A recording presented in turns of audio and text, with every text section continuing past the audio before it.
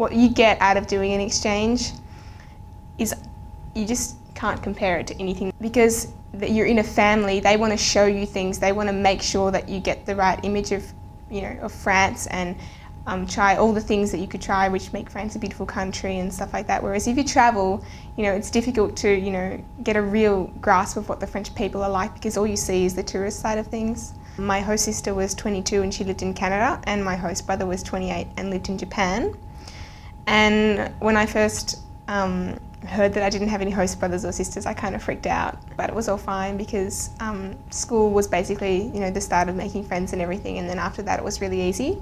Going to school is like being introduced to, um, you know, 1,300 French people on the same day. I went to the local high school, which was about 15 minutes walk from my house. Almost every street in my village was cobbled and it was just really old. There was a chateau in my village.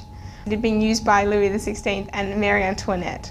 In the middle of my exchange, we had the opportunity to spend a week um, in uh, Côte d'Azur, Monaco, Nice, Cannes, and that was just you know a really great opportunity to see the rest of France. And we drove into Paris and we went to the Louvre and we went to um, all the gardens around the Louvre and we studied art and we saw a film, a French film that they were all going on about. And then we went and saw an, um, like an actual show and it was all in French and it was in this tiny cramped theatre and there was just an atmosphere. It was just just in a day, that was like a representation of culture. It was all squashed in and you couldn't, you know, move. There was just too much going on and it was just it was just fantastic that day. Um, so I had four years of French before I went over there and I got there and I was like, yeah, my French will be okay, you know, four years. And I just realised that I didn't speak French at all. You have to keep trying, otherwise you're just not going to get anywhere with it.